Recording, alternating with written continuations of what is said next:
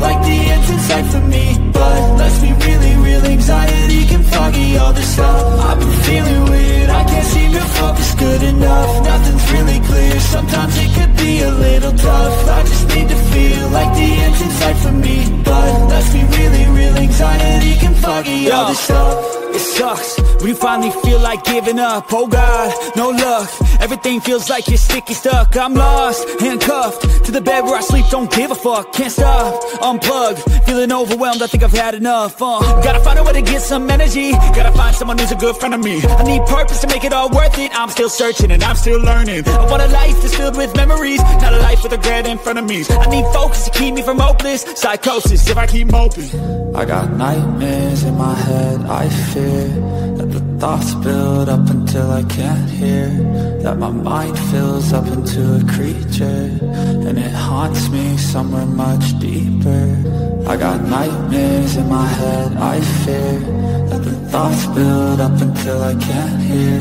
That my mind fills up into a creature And it haunts me somewhere much deeper. I've been feeling weird,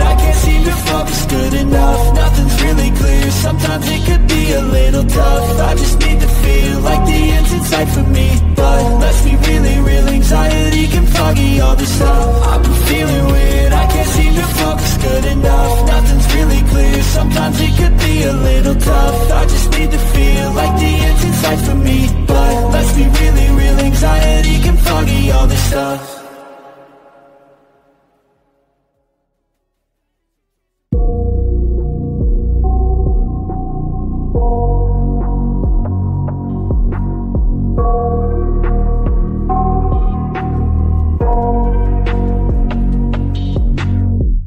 I got nightmares in my head, I fear thoughts build up until I can't hear.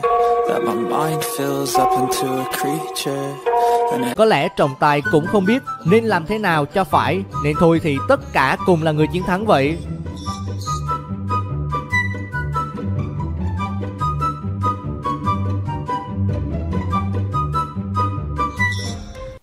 Nó ở chất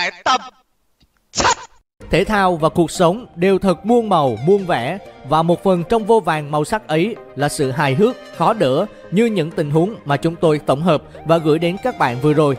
Hy vọng các bạn sẽ thật thoải mái và sảng khoái sau khi xem video này. Xin chào và hẹn gặp lại.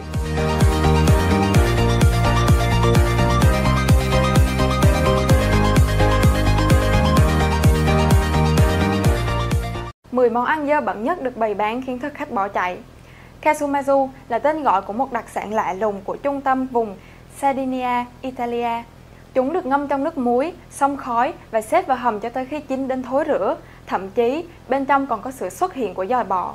Nó là loại phô siêu mềm, vị cay sâu. Dù chỉ một miếng loại phô này có thể chứa cả hàng nghìn con giòi sống nhúc nhích.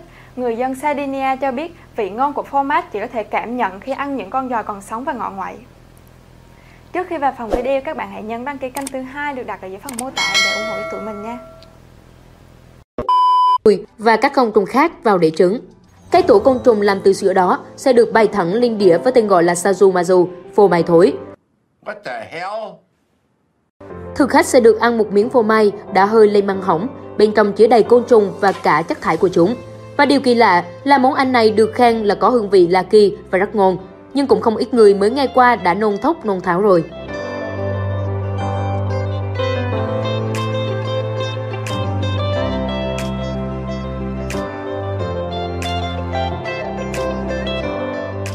Bột chân Phương pháp làm bánh mì truyền thống không phải lúc nào cũng sử dụng máy móc hoặc tay mà đôi khi nghe có vẻ thô thiển một chút, nhưng người ta còn dùng đôi chân để nhào nặng. Ở nhiều nơi, việc yêu cầu phải tạo ra mẻ bột với số lượng lớn, nên việc nhào nặng như thế này sẽ dễ dàng hơn, bởi khi di chuyển càng nhiều thì bột sẽ càng nổi hơn. Năm 2017, một nhân viên khách sạn Kaikada ở Ấn Độ đã bị phát hiện đang nhào bột bằng chân trên sân thượng. Không biết rằng phương pháp truyền thống này có gì hay hay không, nhưng nếu các bạn, các bạn có dám ăn loại bánh mì này không?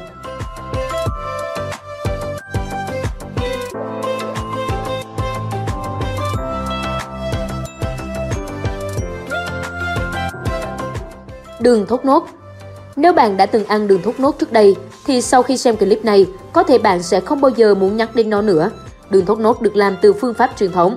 bắt đầu từ việc ép và chưng các nước ép cọ, nước ép mía hay nước ép cay thốt nốt, sau đó được đun sôi trong chậu lớn cho đến khi cô đặc và trở thành một khối đường rắn đủ dày để có thể xúc bằng thìa lớn. Và những người đảm nhận công việc trong clip dường như đã bỏ qua khâu đảm bảo vệ sinh an toàn thực phẩm khi họ đi dép lê, thậm chí là chăn đất vào trong chảo. Liệu khi nhìn những viên đường thốt nốt, bạn có tưởng tượng lại những cảnh nào không?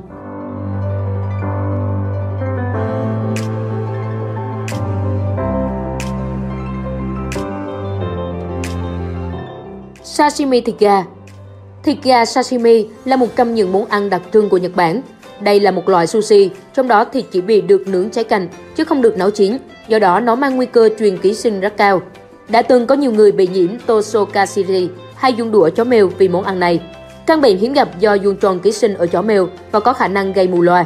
Mặc dù các nhà hàng Nhật Bản phục vụ sashimi gà tuyên bố sử dụng gà hữu cơ từ các trang trại nhỏ, có kiểm soát thay vì các trang trại gia cầm công nghiệp lớn, theo tiến sĩ Kitajili Pihai, một chuyên gia dinh dưỡng tại Mumbai cho biết, vì rất khó để phân biệt được gà có đến từ các trang trại hữu cơ hay các trang trại khác, chúng có thể chứa các vi khuẩn gây hại, thậm chí là Salmonella.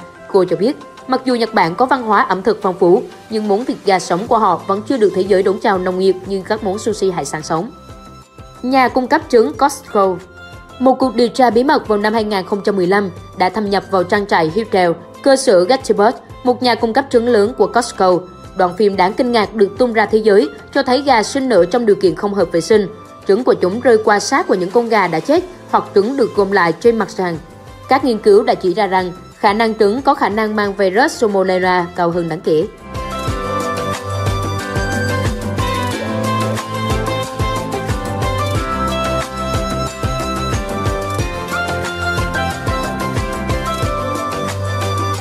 Bánh ong Ai là người làm việc với nhiều con ong nhất? Chắc chắn là những người nuôi ong rồi. Nhưng trong clip này, ở một tiệm làm bánh được cho là ở Trung Quốc, người thợ đang nhào nặng bánh mochi với nhiều lớp đường và mè đen thì tình cờ thu hút cả một bầy ong. Tuy nhiên, điều đó không ngăn cản người thợ và anh ta vẫn hăng say nhào nặng dù có hàng ngàn con ong đang bao vào. Và dĩ nhiên, trong những chiếc bánh này sẽ có một vài chú ong đang đuổi. ngồi ra thì phân hay bất cứ chất bẩn nào đó bám trên cơ thể của những con ong đều có thể lẫn trong bánh.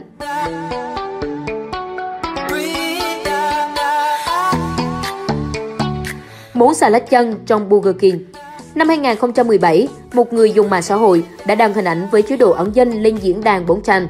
Trong hình ảnh là hai bàn chân của anh ta trong hộp nhựa đựng xà lách. Với chú thích, đây là xà lách bạn ăn ở Burger King. Và nhanh chóng Burger King đã vào cuộc kiện anh chàng bí ẩn này.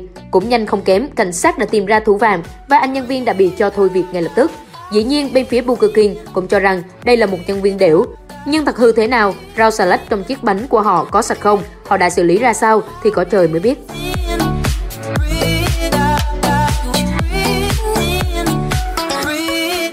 KFC hay còn được gọi là gà rán Kentucky là một thương hiệu gà rán có tiếng và lâu đời của Mỹ, cũng là thương hiệu tiên phong trong lĩnh vực fast food ở Việt Nam.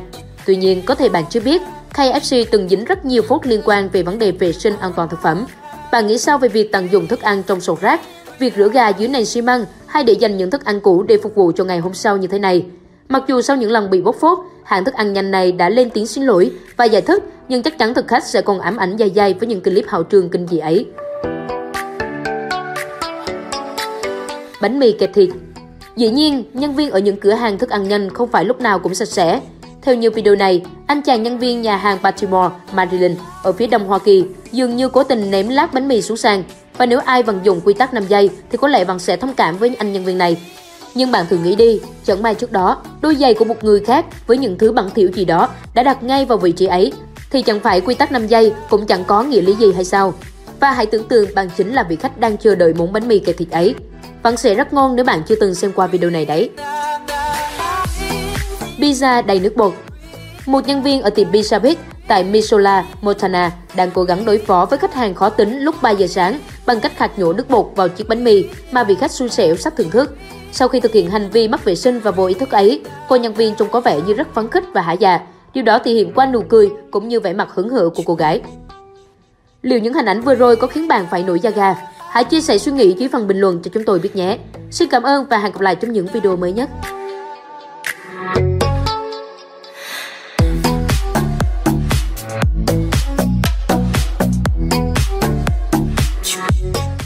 Là người nổi tiếng, cũng đồng nghĩa với việc các kiều nữ phải chấp nhận chuyện bị xâm phạm thân thể thường xuyên bởi tính chất công việc luôn phải tiếp xúc với đám đông. Nhiều ngôi sao đã phải ngậm bồ hòn làm ngọt vì hành động không mấy lịch sự của các fan hâm mộ.